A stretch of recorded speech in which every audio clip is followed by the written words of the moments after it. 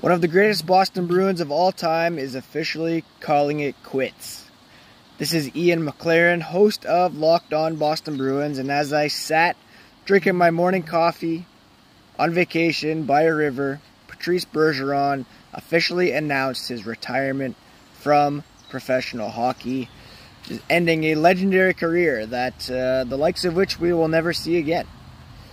He goes out on top as a Selke Trophy winner not on top in terms of team success, of course, but just welcomed a new child into the mix, and uh, we just wish him all the best in retirement.